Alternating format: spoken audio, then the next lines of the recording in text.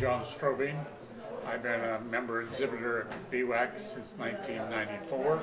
I've been the uh, president since 2005 and co-president for the last couple of years. And even going back to 94, I'm still not anywhere near being the longest member.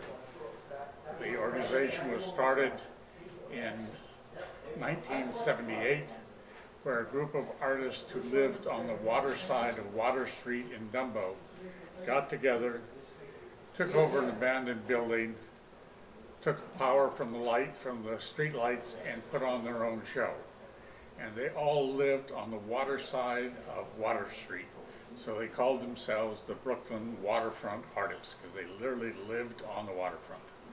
A couple years later, the friends of theirs wanted to be incorporated and they actually decided they would accept people as long as they were within four blocks of the water.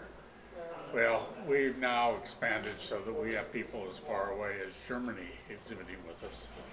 The, uh, most of these are people who have exhibited first here in Brooklyn and then moved away and continue to exhibit. The, uh, We've, we have approximately 200 exhibitors currently, and we have three major exhibits a year. One in the spring, one in the summer, one in the fall. And each ex exhibition typically has over a thousand works, brand new works that people haven't seen. Uh, and the artists are all helping artists because this is virtually a volunteer organization.